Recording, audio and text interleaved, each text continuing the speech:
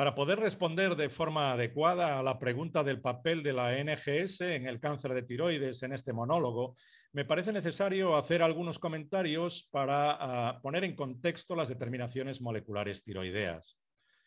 El papel de la determinación de las mutaciones del gen RET en línea germinal y de las mutaciones somáticas de RET o alternativamente RAS en el carcinoma medular de tiroides está bien establecido. Por ello,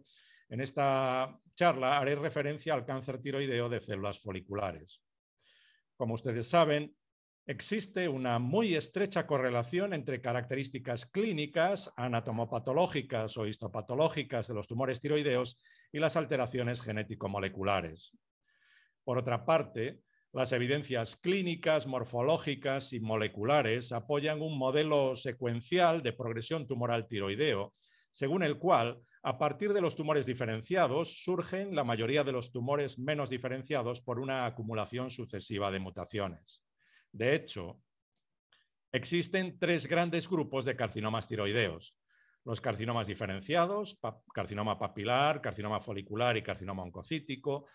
ah, los carcinomas anaplásicos o indiferenciados y un grupo intermedio de carcinomas referidos como carcinomas de alto grado en la nueva clasificación de la OMS. Mientras que los carcinomas diferenciados tienen una baja carga mutacional, los carcinomas de alto grado, que incluye tanto los carcinomas pobremente diferenciados eh, clasificados según los criterios del consenso de Turín, así como cualquier otro carcinoma bien diferenciado con necrosis y muchas mitosis, multiplican al menos por tres el número de mutaciones. Por otra parte, los carcinomas anaplásicos o indiferenciados multiplican como mínimo por seis el número de, mutaciones, de manera que los carcinomas anaplásicos son tumores con una gran inestabilidad cromosómica y la mayor carga mutacional. La mayoría de los tumores tiroideos malignos son carcinomas bien diferenciados, de hecho son carcinomas papilares la mayoría, los cuales desde el punto de vista molecular se clasifican en BRAF-like y RAS-like. En todos los carcinomas papilares BRAF-like, la mutación somática de BRAF, la mutación V600C, la, característica del eh, melanoma o del cáncer de colon, es la mutación driver, la mutación inicial que conduce al desarrollo tumoral. Por el contrario, en los carcinomas papilares eh, RAS-like, eh, que son los que tienen patrón de crecimiento folicular, son las mutaciones somáticas en los, eh, genes de la familia RAS, NRAS, eh, HRAS o KRAS principalmente, las que conducen el desarrollo tumoral. Estas mutaciones iniciales, los driver eh, iniciales, BRAF, V600C y las mutaciones de RAS, son generalmente excluyentes en los carcinomas diferenciados. Es decir, si un tumor diferenciado tiene mutado BRAF, no va a tener mutaciones en RAS y viceversa. Los carcinomas papilares BRAF-like, los de patrón papilar eh, de crecimiento, pueden tener de forma alternativa, es decir, si no tienen mutado BRAF, van a tener reordenamientos de red, diferentes reordenamientos de red que conocemos como red PTC1, red PTC2, red PTC3, etcétera, o, reordenamientos en ENTRAC. Mientras que los carcinomas papilares RAS-like si no tienen mutaciones en RAS, van a tener reordenamientos PAX8, PPAR gamma, la mutación de BRAF, pero diferente de la V600E, la mutación de BRAF K601E, o bien ah, mutaciones en genes de la vía de PI3K, PTEN, AKT, mTOR. En, los carcinomas diferenciados, las mutaciones en la región promotora de TERT aparecen generalmente en menos del 25% de los carcinomas diferenciados, ya sean carcinomas papilares o foliculares, pero son importantes porque se asocian a peor pronóstico. Por otra parte, cuando uno analiza carcinomas tiroideos de alto grado, es decir, los carcinomas pobremente diferenciados eh, según el consenso de Turín o los carcinomas papilares o foliculares que tienen necrosis o alta actividad mitótica, encontramos que las mutaciones, a las mutaciones driver iniciales eh, se asocian eh, otras mutaciones eh, en PTEN, PI3K y 1AX o reordenamientos de ALK y principalmente mutaciones en el promotor de TERT y menos veces mutaciones de TP53. Es decir, en los carcinomas tiroideos de alto grado, además de las mutaciones driver, vamos a tener mutaciones adicionales y principalmente mutaciones en TERT. Finalmente, cuando analizamos molecularmente los anaplásicos, vemos que además de las mutaciones driver, hay coexistencia de un gran número de mutaciones adicionales, principalmente en TP53, en TERT y en menor porcentaje pues en PIK3CA, PTEN, EIF1AX, genes del complejo del remodelamiento de la cromatina, genes reparadores del apareamiento erróneo del ADN, los eh, del mismatch repair y otras eh, alteraciones moleculares. Quiero aquí, no obstante, destacar que el diagnóstico de los tumores tiroideos es morfológico, es decir, microscópico, por supuesto, con ayuda de la inmunistoquímica, que nos ayuda a confirmar la estirpe celular, fundamentalmente con anticuerpos para tiroglobulina, calcitonina o para factores de transcripción como el TTF1 y PAX8. Por supuesto, las determinaciones moleculares pueden desempeñar un papel en relación con el diagnóstico, pero el papel más importante de las alteraciones moleculares, de las determinaciones moleculares, a día de hoy es de cara al pronóstico y al tratamiento.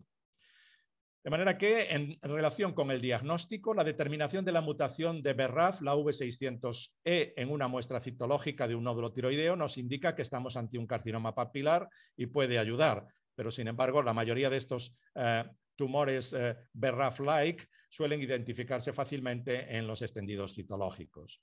Sin embargo, las mutaciones en los genes RAS, PTEN o los reordenamientos PAX8, PPAR gamma u otras alteraciones moleculares pueden estar presentes tanto en adenomas como en carcinomas y no sirven para el diagnóstico fiable de malignidad. Aunque el diagnóstico de NIF se basa en criterios morfológicos, la nueva clasificación de la OMS considera deseable la realización de la determinación del estatus de BRAF pues el NIF es un tumor RAS-like y la positividad para la mutación BRAF V600C excluye NIF y por lo tanto sería indicativa de un carcinoma papilar y no de un NIF. En relación con el pronóstico, la determinación de mutaciones en la región promotora de TERT es importante porque su presencia en carcinomas diferenciados se asocia de forma independiente a riesgo de metástasis y de mortalidad. Por otra parte, la coexistencia de mutaciones en uh, BRAF, eh, la V600E y en TERT se asocia a refractariedad, a falta de respuesta al tratamiento con yodo radiactivo. En relación con el tratamiento, la cirugía con o sin yodo radiactivo suele ser suficiente en la mayoría de los carcinomas diferenciados, pero en el caso de los carcinomas diferenciados y carcinomas de alto grado que progresan localmente o con metástasis a pesar de la cirugía o que no son quirúrgicos y que eh, no responden al yodo radiactivo y especialmente en los carcinomas anaplásicos es cuando necesitamos conocer las alteraciones somáticas que tiene el tumor y que podrían utilizarse como diana para terapias dirigidas o la llamada oncología de precisión o la mal llamada medicina personalizada, puesto que la medicina es siempre personalizada y si no es personalizada, no es medicina, será veterinaria o, u otra cosa.